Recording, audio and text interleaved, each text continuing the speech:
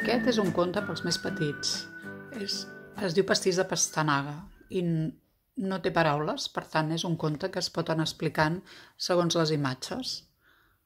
La mare conilla obre la nevera i veu que no hi ha pastanagues i va seguint el rastre dels trossets de pastanaga que va trobant.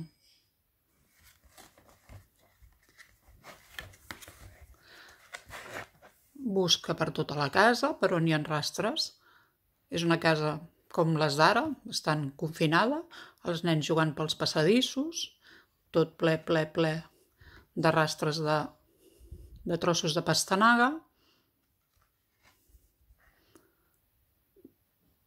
Ella segueix investigant, segueix investigant on la porta els rastres de pastanaga, fins que... Ep, fins que troba qui s'ha menjat totes les pastanagues. I què és el que decideix fer? Doncs decideix fer un pastís de poma i així tots contents.